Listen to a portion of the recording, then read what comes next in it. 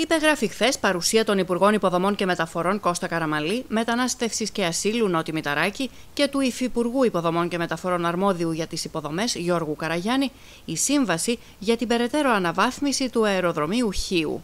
Τα νέα έργα προϋπολογισμού 9,6 εκατομμυρίων ευρώ συν το ΦΠΑ αφορούν στην επέκταση και βελτίωση των κτηριακών και ηλεκτρομηχανολογικών εγκαταστάσεων του τερματικού σταθμού του αεροδρομίου Όμηρος. Το έργο χρηματοδοτείται από το ΕΣΠΑ 2014-2020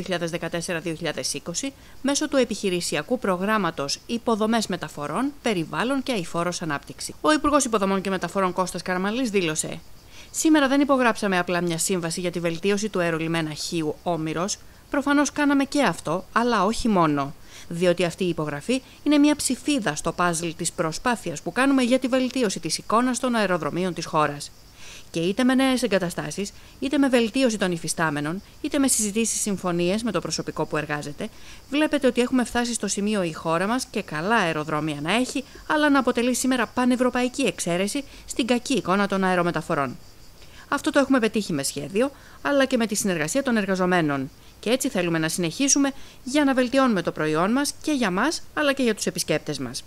Από την πλευρά του, ο Υπουργός Μετανάστευσης και Ασύλου, Νότης Μηταράκης, δήλωσε. Το Υπουργείο Υποδομών προχώρησε σε δύο ιδιαίτερα σημαντικά έργα για το αεροδρόμιο της Χίου. Πρώτον, την επέκταση του διαδρόμου προσγείωσης, απογείωσης και ελιγμών, που είναι σε εξέλιξη με ιδιαίτερη ταχύτητα, και δεύτερον σήμερα με τη βελτίωση και επέκταση των κτηριακών εγκαταστάσεων, ολοκληρώνοντας έτσι την αναβάθμιση του αεροδρομίου.